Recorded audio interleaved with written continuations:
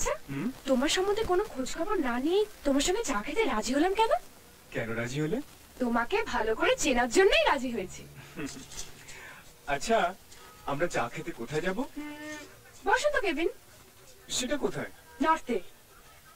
নর্থে? এ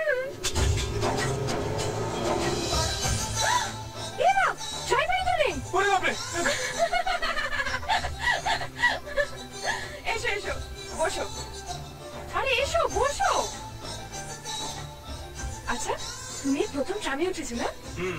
খুব মজা। তোমার নাম কি? কি করো তুমি?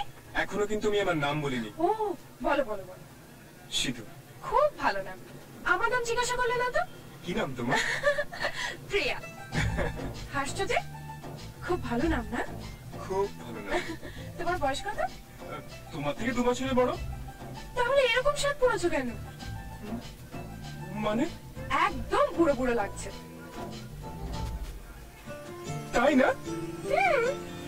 ওকে চা খাবার আগে তুমি কিছু বলতে চাইছিলে না? হ্যাঁ, মানে- তুমি বলবে না আমি বলব। না মানে ঠিক আছে ঠিক আছে আমি বলছি। কি বলি? হুম আমি একটা যোগ বলছি। একটা পিঁপড়ে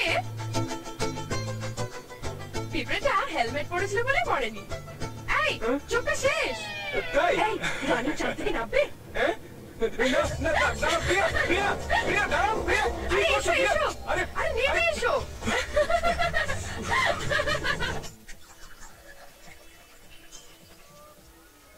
এখানে?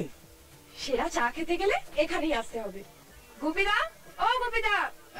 কলকাতায় বসে যদি ফ্রেশ দার্জিলিং চা খেতে হয় তাহলে বসন্ত কেবিনে হচ্ছে আদর্শ জায়গা। বলেছিলাম প্রিয়াদি সৌরভ গাঙ্গুলি সেঞ্চুরি করবেই। আমার কথা মিলল তো? ইনি? গেস্ট তা বেশ বেশ। দু কাপ চা স্পেশাল ঠিক আছে।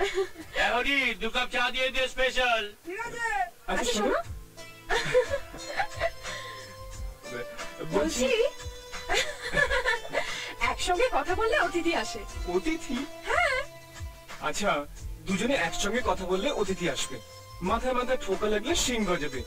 এসবে তুমি বিশ্বাস করো? হ্যাঁ। আচ্ছা এসব তুমি কোথেকে জেনেছো পাড়ার বাচ্চাদের কাছ থেকে। পাড়ার বাচ্চাদের কাছ থেকে? স্পেশাল চা। কি রে হরি ভালো আছিস তো? হ্যাঁ দিদি।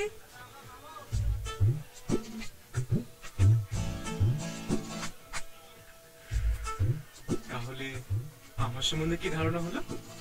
ইডিয়েট।